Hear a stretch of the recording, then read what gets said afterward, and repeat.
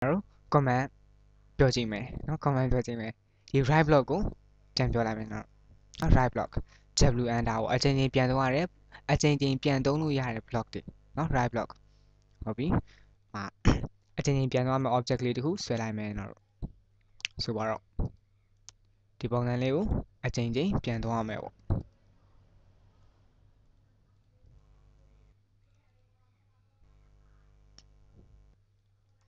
รีบပွားလိုက်မယ်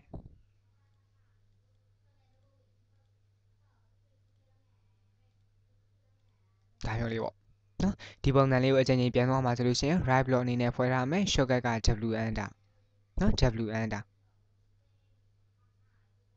နော် shortcut က WN တာပြင်တော့တဲ့ဘယ်ကနေသွားမလဲတဲ့ဒီကောင်နော် source ကိုမေးတယ်သူ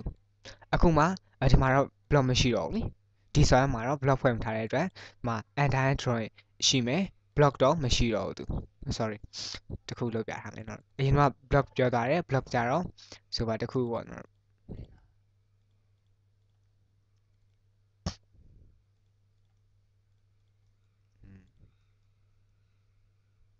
တင်နေဆုံး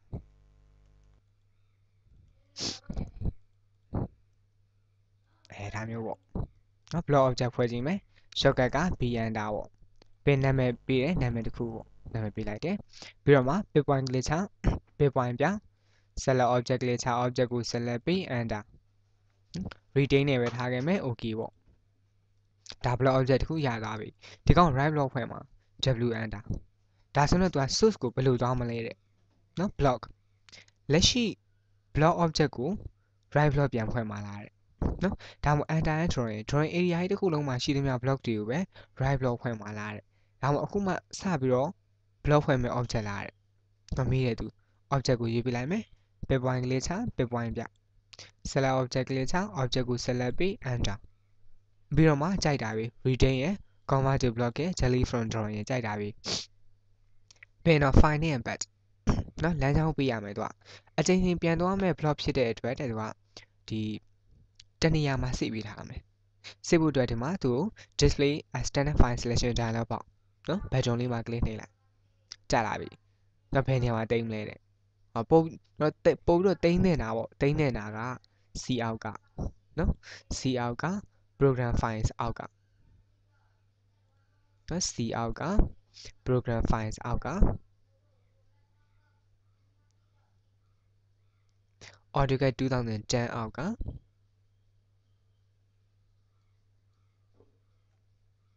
sample အောက်က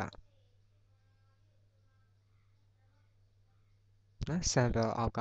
design center ဆိုတာရှိတယ်နော် design center နဲ့သွားတင်တာတော့ပိုကောင်းတာပေါ့အဲတခုတော့ရှိတာပေါ့ကိုမှဒီထဲမှာစေထားလို့ရှိရင်နော် software ပြုတ်ကြလဲသူမကြသေးဘူးပေါ့နော်ခုတော့ရှိတယ်အဲထားလိုက်ပါကြိုက်တဲ့နေရာမှာတင်လို့ရတယ် design center မှာ design center ထဲမှာဝင်တင်လိုက်မယ်တော့ design center ပေါ့ဒီထဲမှာ drawing file အများကြီးရှိရနော်သူတို့ block တွေဖွင့်ခြင်းလဲဒီထဲပဲတော့ဖွင့်ကြည့်လို့ရတယ်ဟုတ်ပြီဘာနာမည်ပေးမှာလဲတဲ့ဟောဘာနာမည်ပေးမလဲပေါ့နော်ပေးမဲ့နာမည်ကိုရေးထားရမယ်ဆိုပါတော့ gasket လုပ်ပေးလိုက်မယ်ပြီးတော့မှ save လုပ်တော့ပြီးတော့ save save လုပ်ပြီးတော့ okay နှိပ်ပြီး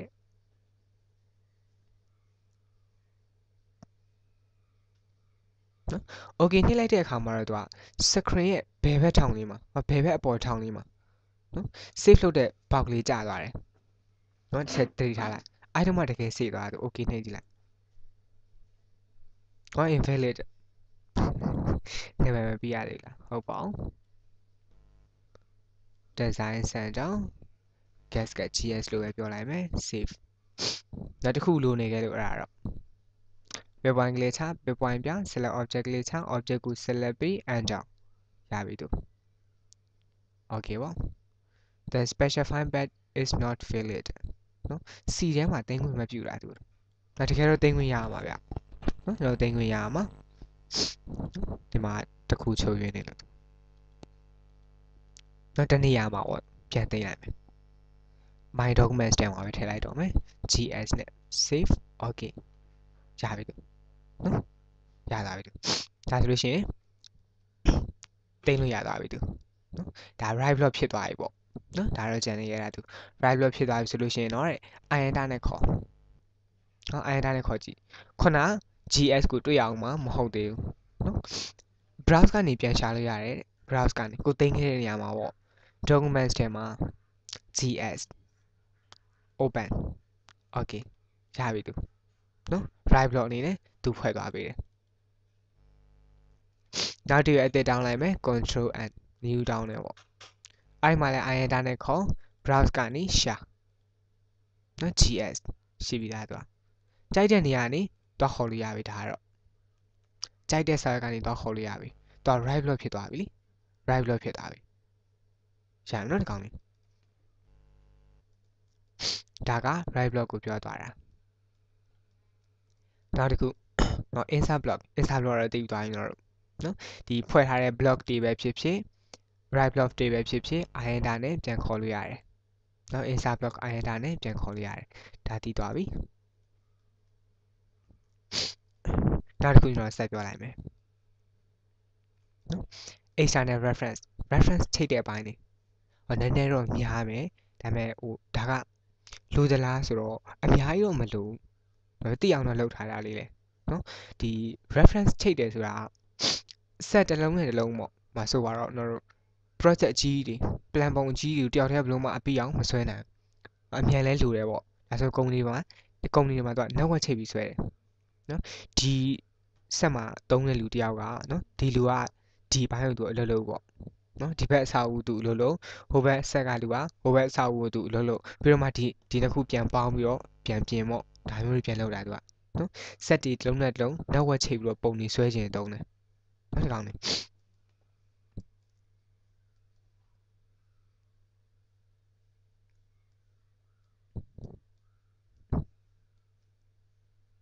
နော် XIF တဲ့ external reference နော် EXT ရ NA ရ REF ရ ENC external reference နော် external reference ပဲလဲကြနော် external reference ဒါဆိုပုံနဲ့ပုံတစ်ပုံနဲ့တစ်ပုံချိတ်တော့မှာဆိုတော့ပုံတော့ရှိရတော့မှာပေါ့ဆွဲထားတဲ့ transfer file နေရှိရတော့မယ်အဲ့ဒါကျွန်တော်တို့ဟိုဆွဲထားတဲ့ပုံတွေကတော့ရှိတာပေါ့ဒီမှာနော်ရှိပြီးသားပုံတွေကိုမတုံးချင်ဘူးနော်ရှိပြီးသားပုံတွေနဲ့ပြန်ရင်ရှုပ်သွားနိုင်မယ်အဲ့တော့အခုမှစဆွဲလိုက်မယ်အဲ့ပုံလေးတွေနော် file တက်တောင်းတယ်ဖက်လို့ရှိရင်တော့သူကဒီဒီ file တက်တောင်းတာနေစာဖက်မှာပူရှင်းတာသူကနော်ပထမဆုံး file တက်တောင်း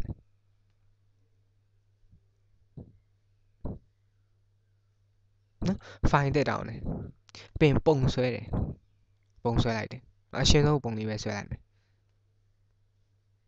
save လုပ်တယ်နော် contrast နဲ့ save လုပ်တယ်ဘယ်နေရာထားမလဲဆိုတော့ desktop ပေါ်တင်လိုက်မယ်ကျွန်တော်တို့ desktop ပေါ်မှာ A လို့ပြောလိုက်မယ်နော်ကျွန်တော် file လေးကို A လို့ပြောလိုက်မယ်2010နဲ့ပဲ save ပေါ့နော် A ဆိုတဲ့ file လေးရှိသွားပြီသူ ပင် file ပြန်ပိတ် file ပိတ်တာနော် file ပိတ်လိုက်တယ်ပင် file အသက်တောင်းနော် file အသက်တောင်းမယ်ပုံဆွဲမယ် B လို့ပြောပြီး save save လုပ်လိုက်မယ် drawing B လို့ပြောလိုက်မယ် save ပင်ပြန်ပိတ်ပင် file တစ်ထပ်တောင်းမယ် ပုံဆွဲမယ် save လုပ်မယ် C လို့ပြောလိုက်မယ် save ဒါနော်ဒါဆိုတော့စမ်းစရာ file 3 file ရှိသွားပြီနော် desktop မှာ abc ဆိုတော့ file 3 file ရှိသွားပြီ file 2 file နဲ့ဆန်းလဲဘာမှတိတာမှာမဟုတ်ဘူးသူက3 file မှာတိတာဒီ command ကိုဘယ်လိုဒီ command ဘယ်လိုလုပ်လုပ်တယ်ဆိုတာကိုတိတာ 3 file ကြာတော့မှာသူကပထမဆုံးဒီ command ဆန်းတော့မယ်ဆို file open လုပ်လိုက်မယ်နောက်ကြီး a ကိုပေါ့ a ကိုဖွင့် drawing a ကိုဖွင့်နော် drawing a ကိုဖွင့်လိုက်မယ်နော်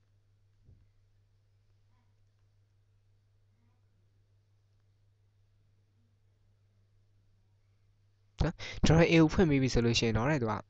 ဒီ external reference command သုံးမှုအတွက် xr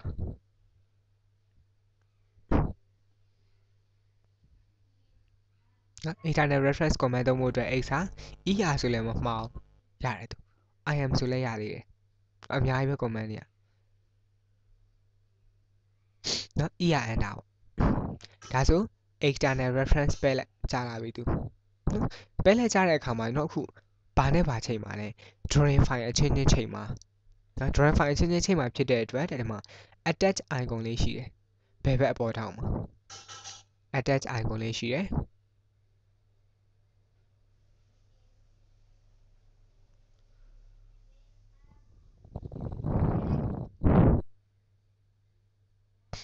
သူ့ဘေးနား down arrow ကို click နဲ့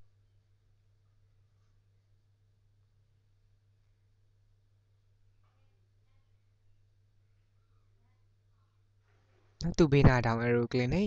ပြီးတော့မှဘယ် file နဲ့ချိန်မလဲတဲ့သူချိန်လို့ရတဲ့ file မျိုးစာတွေအကုန်ချပြပေးထားတယ် drawing file နဲ့လား image နဲ့လား dwg dgn pdf အများကြီးရှိတယ်သူ drawing file နဲ့ချိန်မှာ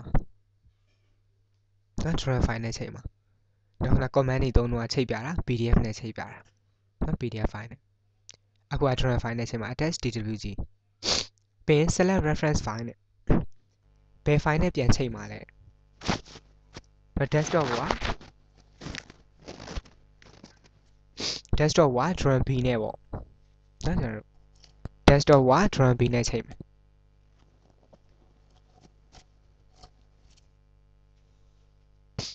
drawing b ကိုရွေးတယ် open ပေါ့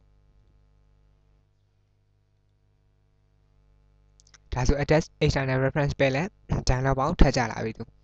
ကြားတဲ့အချိန်မှာအဓိကရွေးပြမှာ reference type နော် reference type reference type မှာတဲ့သူက attachment ရှိတယ်လို့ overlay လည်းရှိတယ် reference type မှာ attachment ရှိတယ် overlay ရှိတယ်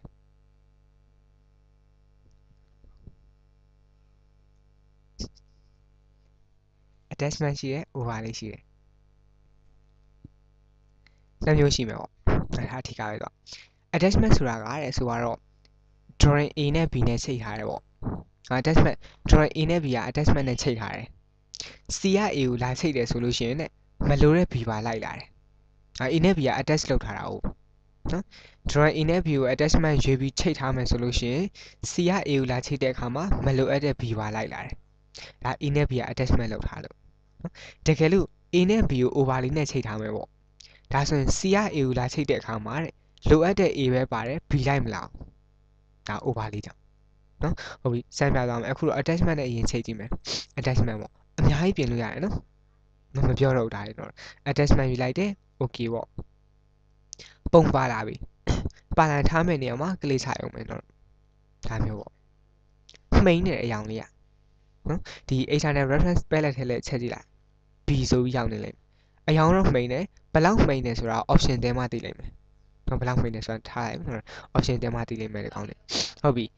ဒီလိုမျိုး attachment လုပ်ပေးလိုက်ပြီဆိုလို့ရှိရင်တော့ save လုပ်လိုက်တော့ control s နဲ့ save လုပ်လိုက်တော့ file နဲ့ကနေ save လုပ်ဒါတခြားဆက်ကပေါ့ကျွန်တော်တို့နော်တခြားဆက်ကဒီမှာတော့ desktop ကလမ်းခေါ်တာမတခြားဆက်ကနေလမ်းခေါ်လို့ရတယ် save ပေါ့ နော် control s နဲ့ save လုပ်ပေးလိုက်ဒါဆိုရင်တော့ဒီ drawing a ကို b နဲ့လှမ်းချိန်လိုက်တာ drawing a ကို b နဲ့လှမ်းချိန်ပြီး save လုပ်လိုက်ပြီပေါ့ဟုတ်ပြီပိတ်လိုက်မယ်နော်နော် file ပိတ်လိုက်မယ်နော် network ချိန်ထားတော့ပိတ်ချင်အောင်လုပ်ပေါ့သူနော်ပိတ်လိုက်မယ်ပိတ်ပြီးတဲ့အခါမှာကျွန်တော်တို့ drawing b ကိုဖွင့်ကြည့်မယ် file open နော် file open drawing b ကိုဖွင့်ကြည့်မယ်နော် drawing b ကိုဖွင့်ကြည့်မယ် open လုပ်ကြည့်မယ်ပုံပြင်ဆွဲလိုက်မယ်ကျွန်တော်တို့ပုံပြင်ဆွဲလိုက်မယ်ပေါ့ drawing b ကိုပုံပြင်ဆွဲလိုက်မယ်ဆွဲလိုက်ပြီဒါဟိုဘက်ဆက်ကလူကသူ့ပုံသူပြင်ဆွဲနေပြီပေါ့ပြင် save လို့ control s save လုပ်လိုက်မယ်နော် file နဲ့ကနေ save ပေါ့ ပုံပြင်ဆွဲပြီး save လုပ်လိုက်ပြီဟုတ်ပြီပိတ်ကြည့်မယ်ပိတ်လိုက်မယ်နော်ပင် drawing a ကိုပြန်ဖွင့်ကြည့်ခုန b နဲ့သွားချိန်ထားတဲ့ a ကိုဖွင့်ကြည့် open လုပ်ကြည့်ပြောင်းသွားတယ်ဒီမှာပါနော်ဒါဒါက attachment overlay နဲ့မဆိုင်ဘူး reference ချိန်ထားတဲ့ file မှန်သမျှချိန်လိုက်ပြီဆိုတာနဲ့တစ် file မှာပြောင်းပြီးတစ် file မှာပုံပြင်ဆွဲပြီး save လုပ်တာနဲ့ဒီမှာလာပြောင်းသွားပြီသူကနော်ဒါ reference ချိန်ထားလို့လေသူက ရမယ်နော်ဒီကောင်လေးဟုတ်ပြီနောက်တစ်ခုဒါ A ကို B နဲ့ချိန်ထားတာ C ကိုဖွင့်ကြည့်မယ်တော့ကျွန်တော် C ကိုဖွင့်မယ်ပြီးရင်သူ A နဲ့သွားချိန်ကြည့်အောင်နော် E ရ enter A နဲ့ချိန်ကြည့်အောင် attach GWG A နဲ့ချိန်ကြည့်မယ် open attachment နဲ့ပဲချိန်ကြည့်မယ်ရတယ် overlay နဲ့ချိန်လဲပြဿနာမရှိရတယ် overlay okay click ချ ဘာပါလာလဲอืม B ပါပါလာတယ်သူက तू ကသူ့ကို overlay နဲ့ချိန်လိုက်ပေးမယ်လေဒီကောင်တစ်ခုက attachment နဲ့ချိန်ထားတာနော်ဒါကြောင့်မလို့သူတို့သူတို့တွေကတွဲပြီးပါလာတာသူနော်ဟုတ်ပြီထားလိုက်တော့ဒါပြီးရင်မှချိန်ထားတဲ့ reference တွေပြန်ဖြုတ်ချင်တော့တဲ့သူကဖြုတ်ချင်တဲ့ကောင်ပေါ် right click နော် reference လောက်ထားတာကိုမသုံး reference မချိန်ချင်တော့ဘူးပေါ့ပြန်ဖြုတ်ချင်တယ်ဆိုလို့ရှိရင်ချိန်ထားတဲ့ file လေးပေါ့ပေါ့ external reference palette ထဲမှာနှစ် file ရှိမှချိန်ထားတာ A နဲ့ B ပေါ့။ဒီနေရာမှာ A ဆိုတာခေါင်းဆောင်ပြောမယ်ဆိုရင်တော့နော် A က B ကိုသွားချိန်ထားတာ哦အဲ့ဒီ A ဘောကို right click ခေါက်မှသာလုတ်ပိုင်ခွင့်အပြည့်ရမှာ B ဘော right click ခေါက်ရင်အပြည့်မရအောင်လုတ်ပိုင်ခွင့်နော် A မှာပဲ right click ခေါက်မယ်လို့ A မှာ right click ခေါက်လိုက်တဲ့အခါမှာတဲ့ခဏဖြုတ်ချင်အဲ့လို့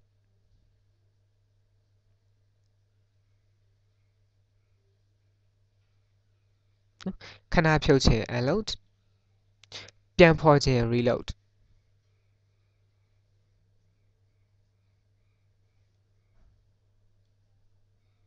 ဒါနော်အပီးဖြုတ်ခြင်းတော့ detach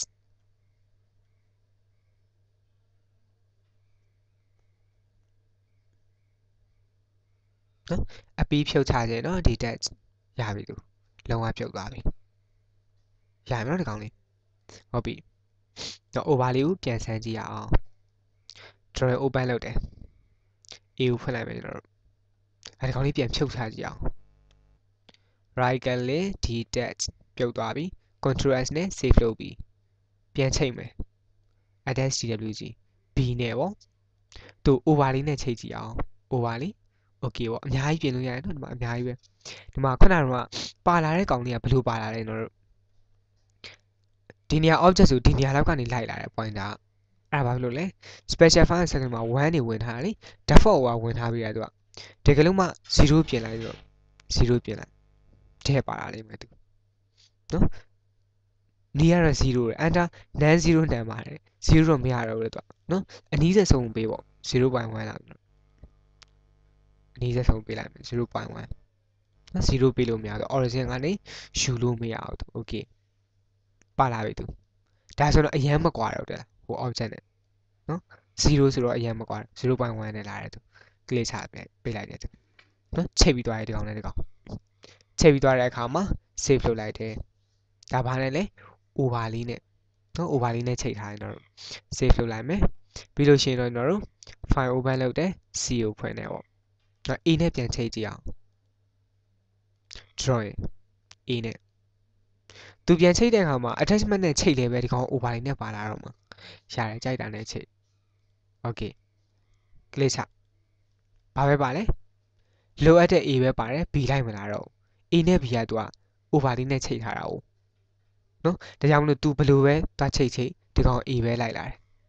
ရမယ်နော်ဟုတ်ပြီဒါတဲ့ရပြီနော်ဒီကောင်လေးကနော် reference ချိတ်တဲ့ပိုင်းအများကြီးတော့မလို့ဒါပေမဲ့သိထားဖို့တော့လိုတယ်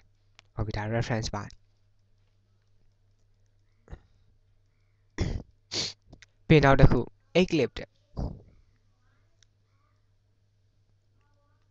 eclipse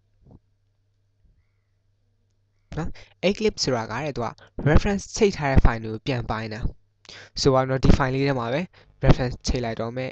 er enter attach twg နော်ဘယ် file နဲ့ချိန်မလဲဆိုတော့ b နဲ့ချိန်မယ် open ဟော b နဲ့မချိန်ဘူးတော့ပြလို့ကောင်းအောင် drawing file အကြီးတစ်ခုခုလောင်းနေပေါ့ ဟောဘယ်နှမှာရှိလောက်မလဲ drawing file ဒီအောက်က my data landing AutoCAD course ထဲမှာရှိမယ်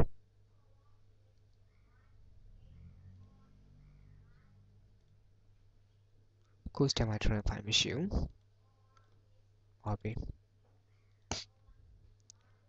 documents ထဲမှာ Dragon ဒီပုံလေးရှိမယ် massive ကတော့ဒါ reference ချိန်လို့ကောင်းအောင်လို့တော့ current drawing invalid the file တက် down လိုက်တယ် attach လုပ်တယ်ပေါ့ my documents here. drawing 1 open okay click ချ zoom on Okay. Reference ချိန်လိုက်တာတော့ဒီဒီ file ချိန်လိုက်ပြီပေါ့နော်ဒီ file ချိန်လိုက်ပြီ down မှာကျွန်တော်တို့ဒီပိုင်းလေးပဲလိုချင်တာခေါင်လေးပဲလိုချင်တာဒါတွေမလိုချင်ဘူးတွားဖြတ်လို့လည်းရမှမရတာဒါ reference ချိန်တဲ့ file select မှတ်လိုက်ရင် grid တော့တုံးမဲ့ပေါ်တယ်လीအဲ့တော့ဒီကောင်ကို x link နဲ့ပြန်ပိုင်းတယ် xc နဲ့ပြန်ပိုင်းရတယ်နော် x link xc enter xc enter ချိတ်ထားတဲ့ file တွေကိုလိုတလိုပြန်ပိုင်းခြင်းပေါ့ xc နဲ့ပိုင်းလို့ရတယ်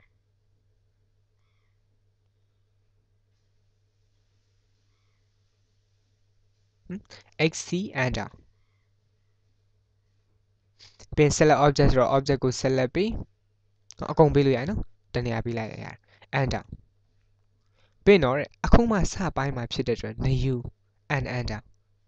တော့ဝင်ပြီးသားပေါ့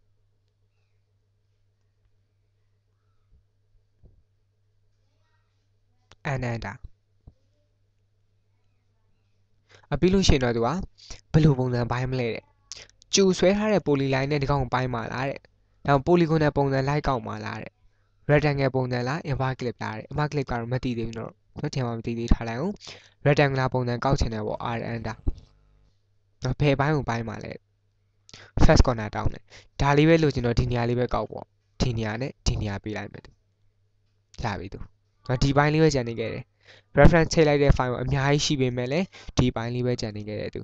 ဟုတ်ပြီပိုင်းလိုက်တာတော့ရသွားပြီလိုချင်တဲ့အပိုင်းလေးဘောင်ကြီးပါနေတယ်နော်ဘောင်ပါနေဒီဘောင်ဖြောက်ချင်တော့တဲ့သူက eclipse frame နဲ့ဖြောက်နော်ဘောင်ဖြောက်ချင်တယ်ဆိုလို့ရှိရင် eclipse frame နဲ့ဖြောက် xclib fime eclipse frame ဘောင်ဖြောက်ချင်တယ်ဆိုရင် eclipse frame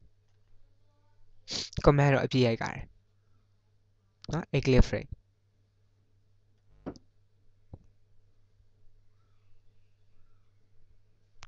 eclipse frame x c l i b f r e m e eclipse frame enter ပြီးလို့ရှိရင်တော့သူက enter new value for eclipse frame နဲ့ eclipse frame အတွက်တန်ဖိုးသစ်ပေးပါတယ်သူကလောလောဆယ်ဖြစ်နေတာ2ဖြစ်နေဘောင်းမပါခြင်းဆို0ပေးတယ်နော်0 enter ဘောင်းမပါခြင်း0 enter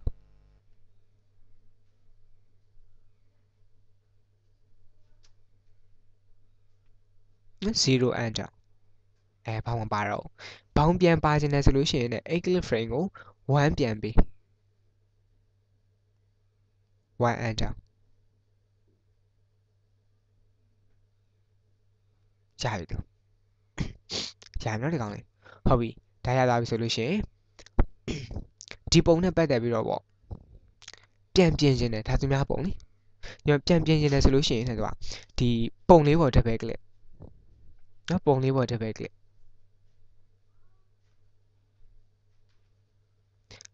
နော် reference ချိန်ထားတဲ့ပုံပေါ် double click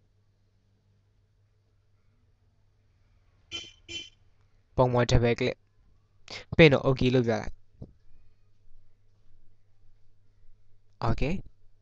ဒါဆိုလင်းသွားပြီသူတို့နော်လင်းသွားပြီပြီးဒီ reference edit ဆိုတဲ့ toolbar လေးကလည်းမခေါ်ဘဲနဲ့ပြုတ်ကြလာတယ်လိုအဲ့လိုချပေးတာသူ နော် reference edit ဆိုတဲ့ toolbar လေးသူကနုကြာလာပြီးတယ်နော် reference edit ဆိုပြီးတော့ဟုတ်ပြီထားလိုက်တော့ဒါစိတ်ကြိုက်ပြင်လို့ရတယ်ဒါသူများပုံစိတ်ကြိုက်ပြင်လို့ရတဲ့အတိုင်းပဲဖြတ်ဖြတ်ချင်းဖြတ်ဒီမှာဖြတ်နော်ပြင်ဦးမလားပြင်အများကြီးပြင်လို့ရတယ်ဒါမျိုးပေါ့ပြင် save လုပ်ပေးလိုက်တယ် save reference edit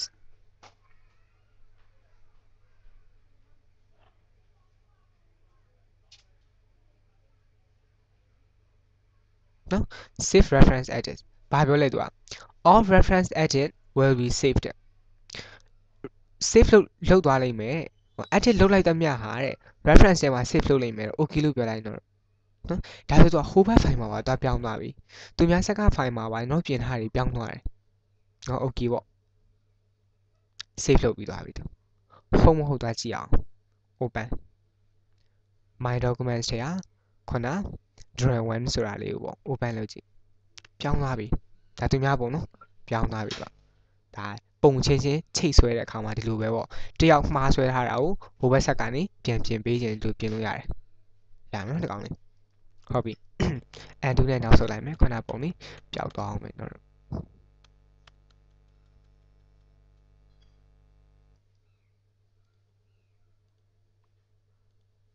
ရမယ်နော်ဒီကောင်လေးဟုတ်ပြီ ဒီ eclipse frame ကိုပြန်ဖြောက်ချင်လို့ရှိရင်လည်းတော့ xclib fime ပေါ့ xclib xclib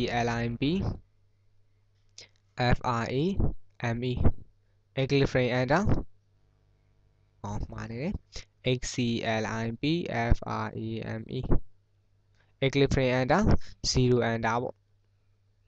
ရှိတော့ဘူးသူ ရမယ်နော်ဒီကောင်လေးပြန်ဖြုတ်ချခြင်းလဲ right click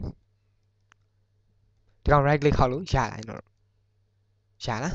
မရဘူးမရဘူးဘာလို့လဲဒီကောင်တော့ခုန edit လုပ်နေတဲ့အချိန် edit လုပ်နေအောင်ပြန်ပြီးတော့ save မလုပ်ကြသေးဘူး reference edit ပြန်ခေါ် save လုပ်ပေး okay နော်ဒါမှမဟုတ် close တာလုပ်လိုက်တော့ okay